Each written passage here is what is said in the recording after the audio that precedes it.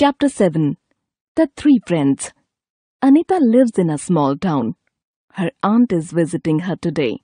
She lives in a big city. Her aunt gives her a doll. Anita shows the doll to Tina and Rinky. Look! Her eyes move. When Rinky presses the doll's tummy, she cries. Let's all play with her.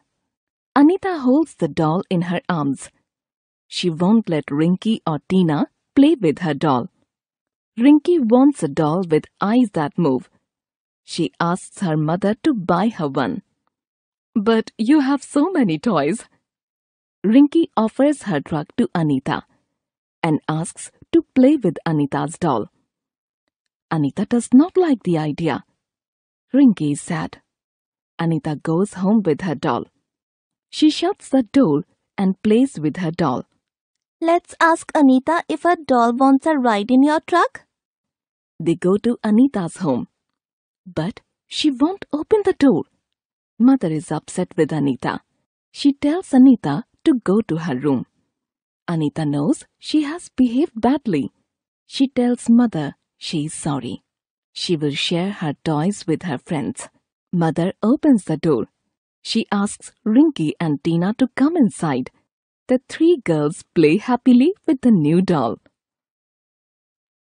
Listen to these words. Repeat them after your teacher. Lives. Town. City. Aunt. Move. Tummy. Holds. Offers. Truck. Idea. Upset. Behaved. Short O sound. Listen to these words.